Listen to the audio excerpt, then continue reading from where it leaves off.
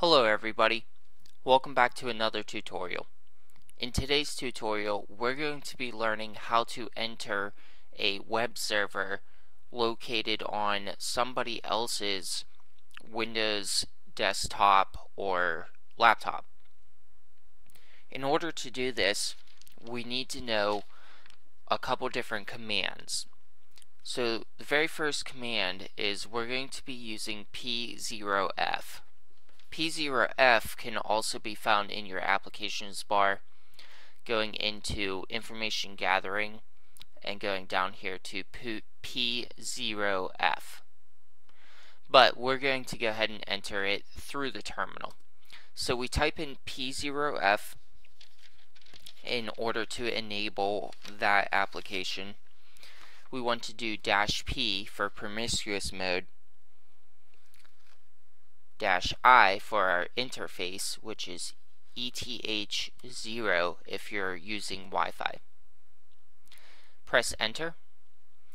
Now, what we would like to do is open a web browser. It does not necessarily have to be uh, Firefox. If you have a different one entered, then that is definitely okay. And type in the target IP address that you have gathered and here we can see that we went into the web server of that target IP address.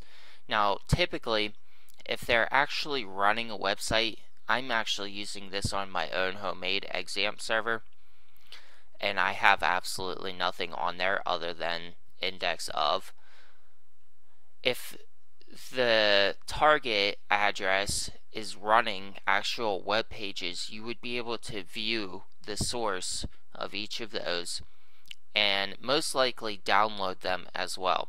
I haven't necessarily messed around with this too much, but um, as far as I can tell, you should be able to download the pages.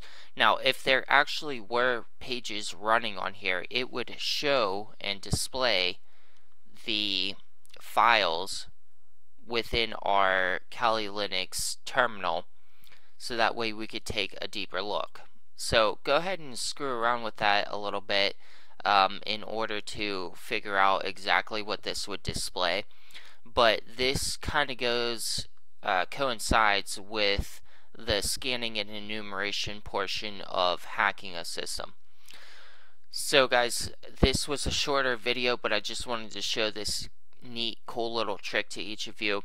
And I'll see each of you in a more detailed video coming up next on how to get uh, operating system fingerprints and actually finding and attacking vulnerabilities that we have scanned for. So thank you guys for watching. Uh, please be sure to subscribe and I'll see you in the next tutorial.